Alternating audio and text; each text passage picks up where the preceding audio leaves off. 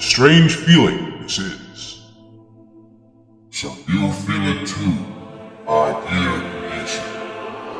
The stagnation, it bothers us. We feel it is time for our existence to transmute into a new actuality. Ah, so such a time hath arisen. Then let us commence forth and make preparations for a grand change in form. So it is said, so shall it